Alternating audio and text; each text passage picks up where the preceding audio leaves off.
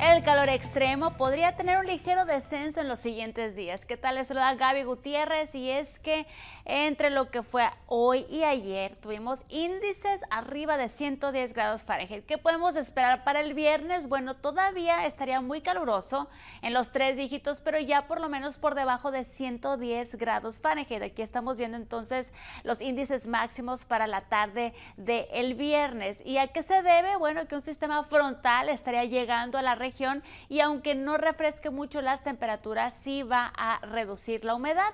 Esto muy a tiempo para los festejos del Día de las Madres, pues las temperaturas máximas van a descender de haber estado en más de 100 grados a inicios de los 90, sobre todo el sábado a finales de los 80, pero dura poco porque para el domingo ya vuelven a aumentar estas temperaturas gradualmente. También así lo vemos en las temperaturas mínimas para noches y madrugadas. Siga aquí para más actualizaciones.